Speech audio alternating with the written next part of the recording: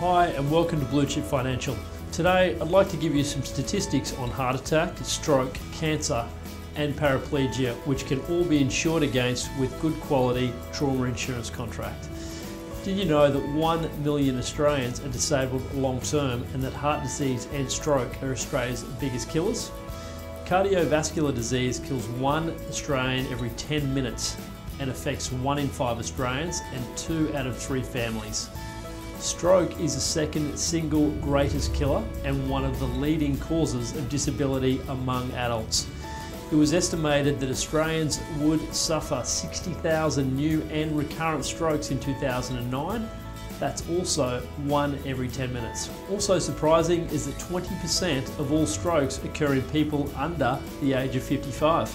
In 2010, it was estimated that 114,000 new cases of cancer would be diagnosed.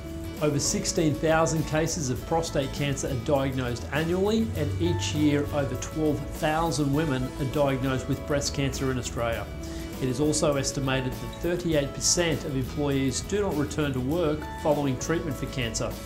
In 2006, an estimated 9,000 Australians were living with a spinal cord injury. 46% of cases were related to road transport, 29% related to falls, and 9% to water related activities. Like I said earlier, all of the previously mentioned can all be insured against with a good quality insurance trauma contract.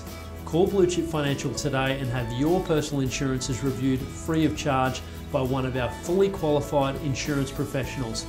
Call today on 1300 410 657 or email us at info at bcfinancial.com.au.